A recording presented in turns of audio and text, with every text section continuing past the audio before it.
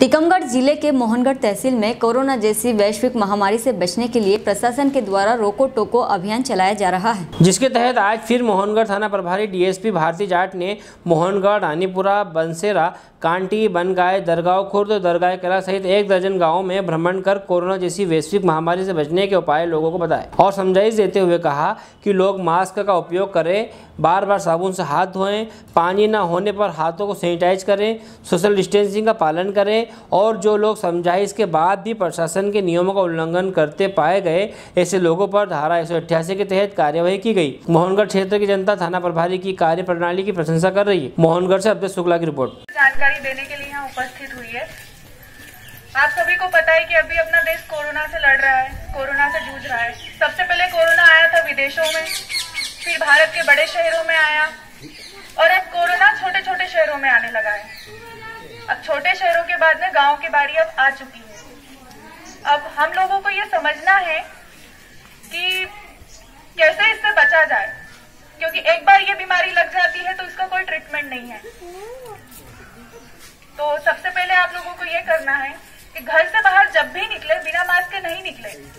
आपके पास मास्क नहीं है, आप रुमाल लगा लीजिए आप गमछा लगा लीजिए लेकिन मत निकलिए घर के बाहर जो एक दूसरे के संपर्क में आने से लगती है। केवल प्रशासन की कार्यवाही से बीमारी से नहीं लड़ा जा सकता है। हमें आपको जागृत होना होगा। हमें आपको अपनी जिम्मेवारी समझनी होगी। तभी इस कोरोना जैसी महामारी से हम लड़ सकते हैं।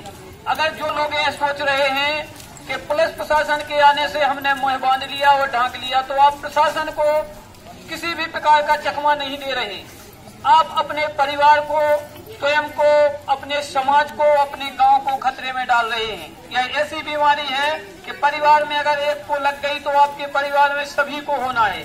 और फिर जिन लोगों को हो गई जो उनके संपर्क में आएँगे, उनको भी होना है।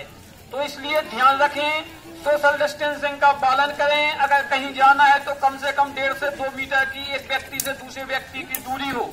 घर से तभी निकले जब कोई भी आवश्यक, अति आवश्यक कार्य हो। अगर एक आदमी के घर से वाले जाने से वह काम चलता है तो केवल एक व्यक्ति ही बाहर निकले। अगर जीवन है तो हम फिर कमा लेंगे। फिर हमारे देश की पटरी पर अर्थव्यवस्था आ सकती है।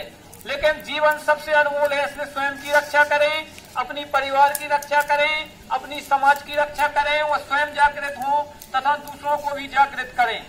अगर कहीं आप जाते हैं तो अपने हाथ को साबन से, हैंड वॉश से धोएँ अगर पानी जहाँ उपलब्ध नहीं है तो छोटी सी डिब्बी सैनिटाइजर की रखें और उससे हाथ को सैनिटाइज करें। साफ़ सफ़ाई का विशेष ध्यान रखें और साफ़, स्वच्छ एवं ताज़ा भोजन करें।